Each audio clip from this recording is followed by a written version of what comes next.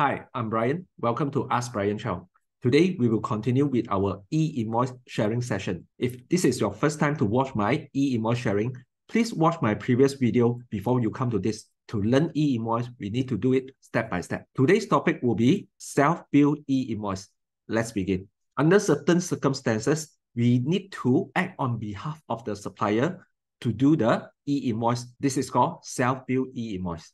The buyer or we assume the role of supplier to do the self-billed e-invoice and submit to IRB for validation. The validated e-invoice can be used as proof of expenses for tax purpose. Self-billed e-invoice is allowed for the following transactions such as payment to agents, dealers, distributors, goods sold or service rendered by foreign suppliers, profit distributions, example, dividend distributions, e-commerce transactions, payout to all betting and gaming winners, and acquisitions of goods or services from individual taxpayers who are not conducting a business. The details for self-bill e-invoice is same as normal e-invoice, where we need the supplier's name, supplier's TIN number, supplier's registration number, supplier's address, contact number, email, SST number if required, classification, and also invoice number. We will take this as an example. Transactions which involve payments in monetary forms to agent, dealers, or distributor. Agent help us to make a sales to customer. We as seller will do the e-invoice to the customer. We need to pay the agent commission. So this explain that agent will collect commission from us where they help us to do a sales.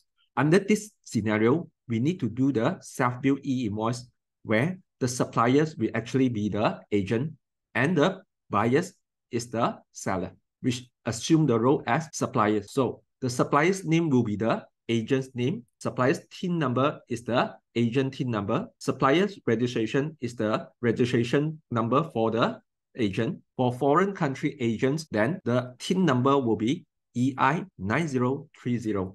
And for Malaysians, TIN number can be MyKad, TIN number, or both. For non-Malaysian individuals, can be TIN number only, or both TIN number and passport number. The supplier's address will be the agent's address. Supplier's contact number, email will be the agent's contact number and email. Supplier SST number will be the agent's SST number if applicable, classification, and also the e-invoice number, which is the document reference number used by us for internal tracking purpose. This is an example of self-billed e-invoice where you can see we as the seller is the share automations and Rambo Hut, but the supplier TIN number, name, and other supplier information is our agent information. The buyer TIN number is our TIN number. Buyer registration number is our company registration number. And also buyer SST is our SST. The details of the item or service is the commission to the agent.